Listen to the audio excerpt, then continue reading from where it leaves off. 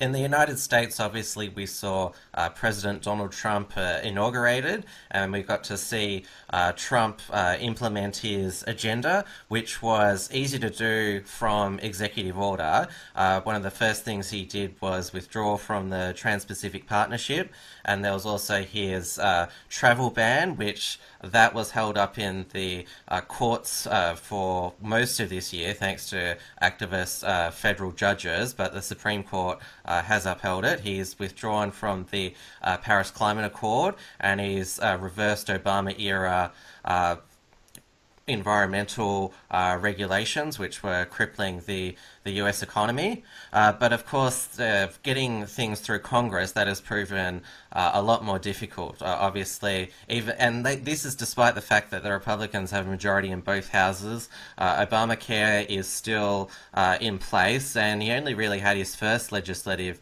victory with the passing of the income and company tax cuts, which was just happened this month. Well, one has to understand how monumental these tax cuts are. When John uh, Fitzgerald Kennedy cut taxes, uh, he uh, between 1961 and 1968, thereafter his presidency, and including his pre- presidency, there was they saw, I, I believe, um, uh, this is a bit rusty. According to the Heritage Foundation, about 60% uh, increased revenue into the federal government. When uh, Ronald Reagan uh, cut taxes um, during his tenure between 1980 and 1988, income to the federal government increased by 99.4%. Now, this is not only good for consumers, it's not only good uh, for consumers getting cheaper goods, for companies being able to employ more workers, but for governments to be able to get more revenue to build new roads, new bridges, and to fund armies uh, against the threat of communist China, which is omnipresent at this stage in the South China Sea. Um, there, will be a quasi arms race uh, going on pretty soon, if not if it is not happening already. Uh, and this this will be a way to reinvigorate Western uh, society, to reinvigorate America, and to breathe some life into the economy of of an economy that, frankly, that George W. Bush and uh, Barack Hussein Obama, frankly, did their best to kill, to murder, uh, to mutilate. Um, the US economy was on struggle street until Donald Trump uh, breathed a bit of consumer confidence into the economy. Now, uh, surely we can't overplay the role of one man, but certainly here, cutting company tax rate, uh, allowing the Keystone Pipeline uh, to come into place, uh, seeing the Dow Dro- Jones go over 20,000 points, um, seeing you know billions of dollars coming back into the U.S. economy seeing share prices rise all over the place, uh, hearing announcements of increases in remuneration uh, to everyday working Americans. Um, Elizabeth Warren might call that corporate propaganda, but I call that real jobs, real growth, and real prosperity. And I think it's terrific the job that Donald Trump's done here. Obviously, he's had a few failures with Obamacare, namely, uh, but I would love to see that scrapped, and I would love to see a world-leading privatized uh, medical health care system be implemented that can be a world leader. I'd also love to see the wall being built, and we can only hope and pray that both these things will occur in Donald Trump's tenure, and I think he's doing a terrific job so far. Uh, and of course, uh, the political establishment, they haven't made it easy for him, and uh, probably the, the biggest opponent of his agenda has been what what uh, has been known as the, the deep state, because obviously Trump came into office wanting to have better relations with uh, Russia, and of course that morphed into the uh, Trump-Russia collusion uh, conspiracy. We saw a number of intelligence leaks, and now that there's a, a special counsel, Robert Mueller, who's now investigating uh, possible collusion between Russia and the Trump campaign, and of course all of this uh, you know these allegations, there's still no smoking gun. There's still nothing to prove that uh, they they work together. Uh, yes, there, there is about as much evidence as the world is flat as there is to Donald Trump colluding with the Russians. Um, of course, Donald Trump is one of the most successful businessmen uh, in the world. Donald Trump is perhaps one of the most successful politicians in the world. Donald Trump, of course, has done business with many people around the world, and therefore he obviously has some kind of uh, business kind of uh, connections with Russia. But one must not confuse uh, mutually beneficial business as some kind of entanglement or some kind of collusion. That's basically all that's occurred. There's been no smoking gun. Uh, the only thing that I've seen, and this was Donald Trump Jr. Uh, talking to WikiLeaks on Twitter on his DM messages, and and um, he basically told WikiLeaks uh, that he wasn't interested. Um, so th- there hasn't really been anything. Now th- there has been uh, that fellow, his campaign manager, Paul Manafort and and there has been Michael Flynn uh, talking to the Russians through back channels without the proper uh, permission or or kind of um, verification from the appropriate officials. But it's a perfectly normal thing if you're expecting to get office to try and establish some diplomatic relations prior to being elected. Now Clinton was doing that; she was establishing diplomatic uh, relations through back channels with many players around the world, but no one really cares because she's lost. And and Trump saying, I want better relations with Russia. I want to fight ISIS with Russia. You know, since Russia has been involved in the Middle East, um, Assad um, has has gotten control over his own country. Uh, Islamic State has uh, been rescinded to you know a bucket of ash, and Russia has done a very good job in that geopolitical sphere.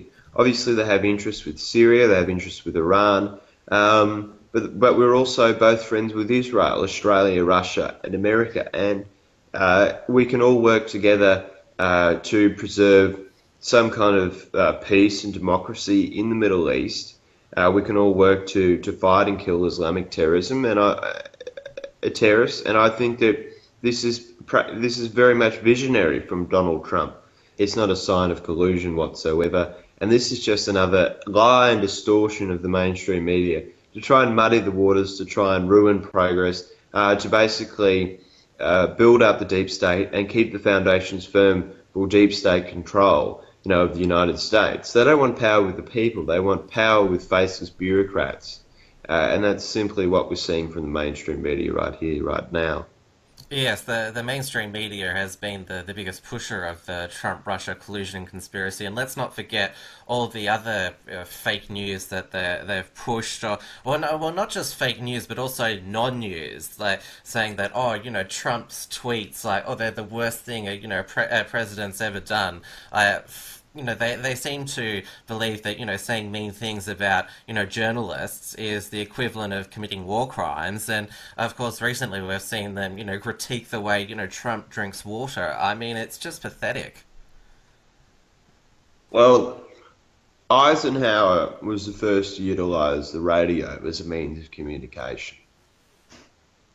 Kennedy was the first to utilize the means of television as communication. Now, imagine if the media was having a go at Kennedy in the 60s for using television.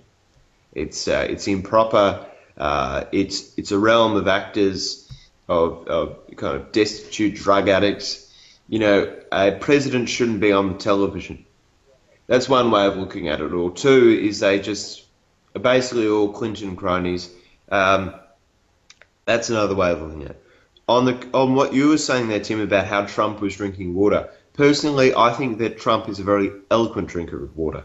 Um, you can buy Trump water if you if you really want to try some of the finest water that's ever been on Mother Earth. Uh, if you want to try some good water, if you want something heavier, you can buy Trump vodka. You know, I'd also encourage that as well. Um, but th- that's just more media bullshit. Another thing is Trump and Shin- uh, Shinzo Abe when they were feeding the fish. They were feeding fish uh, together. It was it was very cute. Um, they they were throwing little bits of fish, and then TYT, the Young Turks, those communist uh, assholes, basically said that Trump poured it all in. He had no respect for Japanese customers. If you look at the side by side video footage, both of them pour that little bit, last little bit of fish food, both together at the end. Uh, if you really want to be pedantic, I, I, can uh, uh, beat you down uh, way down low and beat you with experience. But personally, I would prefer uh, to talk about facts and things that really matter rather than fish food and bottled water. these are things that I find to be secondary issues. I don't know if you'd agree with that, Tim. Yes, uh, I don't necessarily see that you know drinking water is a sign of you know whether you're pres- presidential or not. We have to remember that Trump was elected because he was unconventional when it came to uh, presidential uh, style. Uh, but also another side issue that's uh, been happening in the United States has been obviously, uh, you know, Antifa is still, you know, running rampant, you know, shutting down uh, university talks. We saw, you know, obviously what happened at Berkeley with Milo Yiannopoulos and Coulter and Ben Shapiro. And oh, oh, we also saw the, you know, alt-right become, you know, quite, you know, extreme as well. There was, of course, the infamous rally at uh, at Charlottesville, and it, it, really showed that, well, in my opinion, you know, the alt right, the reason why they've you know become you know so so radical is because groups such as Antifa have basically been terrorizing uh, the whole country, and so the alt right has been a reaction to that. The alt right basically plays uh, white identity politics as a they're reactionaries to the to Antifa. But if you if you listen to economics on both sides, they're completely retarded. But I can understand why the alt right has come to be is because of the prevalence of kind of left wing, basically uh, hogwash and communism being thrown into the academic system as kind of worthy academic study. Marxism has been taken as a main line for worthy academic study in a lot of Western institutions. Moreover, multiculturalism has been accepted as a doctrine or some kind of religion by many politicians. You should see what that does to some working class suburbs, especially in Melbourne. I, have I've walked into Dandenong before, and I've seen the do- doctrine of multiculturalism at its best. I've um, I've tried to ask for directions. I've knocked on people's doors, kind of uh, canvassing for business, and uh, about what, about two in ten people could speak to me, and, and and we saw that with Mark Latham's Outsiders on the street as well. You know, no one can speak English, no one can converse with each other. Now, this causes a lot of friction in communities. If neighbours can't talk to each other, misunderstanding and mistrust kind of fosters, uh, and, and that that's what's happening here. So we can understand that there's kind of neo Marxism in the education system, there's failed multiculturalism, and then there's an economy that has left a lot of people behind, especially in that manufacturing realm, uh, because there hasn't been that education system to say that we aren't in a manufacturing economy anymore, we are in an information based economy. Um, a lot of people being left behind. Uh, in America, in the US, this is occurring all over the Western world. Um, certainly the I can understand why the alt right operates and why they're here, but certainly um, I, I don't like what they do. This has been an Unshackled Fast. Please like, comment, and subscribe. While you're here, grab our free ebook at theunshackledbattlefield.net and visit theunshackled.net for all the latest news and commentary.